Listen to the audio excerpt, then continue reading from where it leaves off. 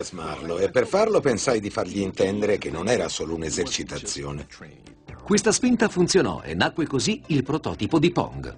Quando creai la prima versione del gioco, Nolan mi disse che doveva avere anche degli effetti sonori e aggiunse che doveva esserci il fragore del pubblico osannante in caso di vittoria o tutto fischi e bu in caso di sconfitta. Non avevo la più pallida idea di come realizzarlo. Avevo superato abbondantemente il mio budget e avevo già inserito troppi chip in quell'affare, così mi limitai a giochicchiare con un piccolo amplificatore, trovando dei suoni più o meno adatti, che riuscì a far entrare in meno di mezzo chip. Consegnò il prototipo funzionante in soli tre giorni. Non ero poi così sorpreso, era bravissimo. Poi apportammo una piccola modifica facendo in modo che la pallina, una volta toccati diversi segmenti della racchetta, cambiasse direzione. Così il gioco da noioso e ripetitivo divenne un gioco da sballo. Quel piccolo cambiamento modificò completamente la giocabilità di Pong. Quando la Atari mise sul mercato Pong nel 1972, nacque l'industria dei videogiochi. Pong fu l'inizio di tutto. Era il primo videogioco che la gente poteva utilizzare in casa, invece che in qualche laboratorio. Scrissi le prime istruzioni per Pong. Primo passo, aprire la partita. Secondo passo, la palla si serve automaticamente. Terzo passo, evitare di mancare la palla per ottenere migliori punteggi. Era un gioco semplice. Tutti noi che abbiamo vissuto quel periodo ci ricordiamo della nostra partita a Pong, come altri ricordano l'assassinio di Kennedy. Avevamo il potere del pixel. Stasera non guardate la TV, giocateci. Avevamo un pub a Liverpool, in Inghilterra. Un giorno mio padre arrivò con un grosso oggetto che un paio di tizi portarono fino al bar. Era molto grosso, così. Si trattava di Pong, il predecessore di tutti i videogiochi. La cosa curiosa era che Pong era pensato per due giocatori. Era necessario essere in due per giocare. Non lo si poteva fare da soli. Pong era la versione moderna del gioco carta, sasso, forbice. Era un altro modo per sfidarsi tra amici, per dimostrare di essere i numeri uno. È stato l'inizio dell'emancipazione delle donne. Le donne e tutte le altre minoranze hanno deciso che è il momento di alzarsi e dire insieme basta. Forse gli uomini non sono ancora pronti, ma la rivoluzione è già iniziata. Le donne americane sono scese in piazza. Era accettabile per una donna emancipata entrare in un bar e dire tranquillamente Vuoi giocare a Pong? Pago io. Le donne hanno una migliore coordinazione della muscolatura minuta, dunque in generale potevano giocare a Pong meglio degli uomini. Per la prima volta le donne potevano sfidare gli uomini alla pari e vincere. Molte donne iniziarono a frequentare i bar e a vincere tornei e a vincere anche scommesse. Credo che Pong sia nato in un'epoca nella quale l'America attraversava una fase molto importante della sua storia, caratterizzata non solo dal Vietnam, ma anche dal movimento per i diritti civili. Gli anni 70 oggi ci appaiono più frivoli degli anni 60, che furono molto intensi. Non credo che siano stati i videogiochi a creare tale frivolezza, semplicemente hanno rappresentato la tendenza generale a rintanarsi nel chiuso delle mura domestiche, a fare vita sociale in casa e a svolgere attività ludiche. Anche se tutto nel mondo fosse perfetto, resterebbe sempre il bisogno di divertirsi. Il gioco è una componente fondamentale della vita dei mammiferi, di tutte le specie. I cani giocano, le scimmie giocano e gli esseri umani giocano. Giochiamo in tutti i paesi del mondo e giochiamo tutti agli stessi giochi. Higginbottom, Russell, Bear, Bushnell questi pionieri, consapevolmente o no, incanalarono le nostre paure collettive nelle loro creazioni virtuali. Era evidente che il mondo era stanco e che i videogiochi erano la perfetta arma di distrazione di massa in tutto il globo.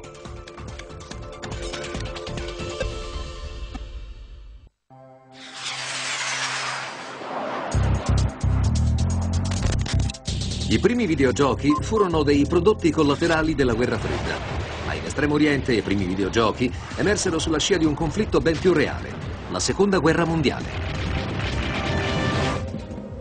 Le bombe atomiche di Hiroshima e Nagasaki avevano devastato il Giappone, ma le forze alleate parteciparono attivamente alla ricostruzione del paese.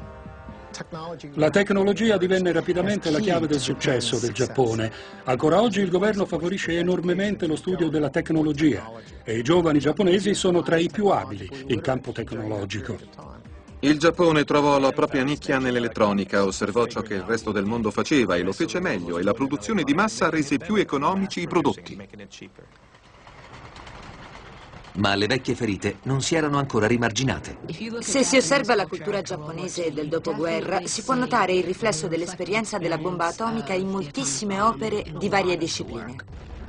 Godzilla, il re dei mostri, minaccia il mondo schiacciando tutto ciò che incontra.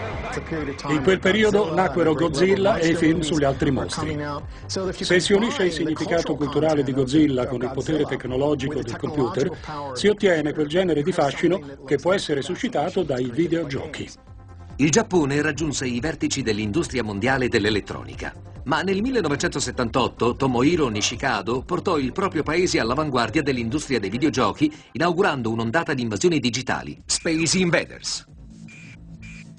Avevo pensato a invasori umani, ma l'idea di umani che sparavano ad altri umani era stata criticata come inumana. Così pensai che gli alieni avrebbero potuto essere invasori molto più accettabili.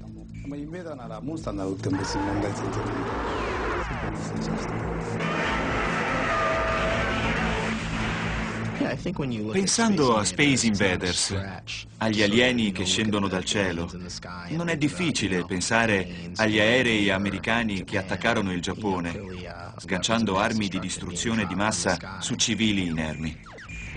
La cosa interessante di Space Invaders è che ci ha offerto il primo scenario fantascientifico. È un gioco che ti coinvolge completamente. Sei lì che pensi, ci stanno invadendo. Io quando ci gioco penso a me stesso come all'ultimo baluardo dell'umanità. Space Invaders fece scattare qualcosa nella psiche dei giapponesi e milioni di adolescenti giocarono tanto da provocare addirittura una penuria di monete da 100 yen in tutto il paese. Il gioco decollò in quel modo fragoroso nel quale una cosa può decollare solo in Giappone. I videogiochi erano qualcosa di nuovo, di diverso, costituivano un'occasione per uscire di casa e fare qualcosa. In Giappone ciò è particolarmente importante perché le case sono in media molto piccole. In Giappone uscire di casa ha un significato diverso che negli Stati Uniti. Ci eravamo ispirati al battito cardiaco umano per creare uno degli effetti sonori del gioco, il tono basso della terra che trema quando si avvicina il nemico. Oggi potremmo creare suoni molto più fedeli, ma a quei tempi, con le tecniche e i mezzi limitati di cui disponevamo, era il massimo che si poteva fare. E non era niente male. Pensate a cosa ha fatto Space Invaders dal punto di vista della musica e dei suoni. In realtà erano appena quattro note, faceva dan dan dan dan. Ma il ritmo era ben studiato e con l'avvicinarsi degli invasori cresceva inesorabilmente, insieme alla velocità degli alieni, tanto da far precipitare nel panico il giocatore. Era un effetto molto coinvolgente. Per cavalcare quell'onda, i negozianti si affrettarono a fare spazio nei loro esercizi e collocarci macchine per giocare a Space Invaders. L'invasione di Space Invaders creò un gap generazionale nella cultura giapponese. Molte mamme non volevano permettere ai loro figli di giocare ai videogiochi. Divenne un problema sociale perché c'erano ragazzi che rubavano o contraffacevano i gettoni per giocare. Si pensava che i videogiochi fossero un problema grave per l'educazione dei giovani. Penso a ciò che è successo con Space Invaders. Per la prima volta la tecnologia aveva creato un dislivello enorme tra due generazioni. La generazione precedente, che fino a quel momento era stata al passo con i tempi, improvvisamente si ritrovò ad arrancare perché non capiva perché quegli stupidi giochi fossero tanto popolari. In tutto il paese i ragazzi sono travolti dai videogiochi. In America cominciarono a passare diverse ordinanze. Per esempio, si vietò che in una sala giochi potesse esserci contemporaneamente più di una certa quantità di adolescenti. Nacque una nuova cultura. Una cosa che ho sempre trovato triste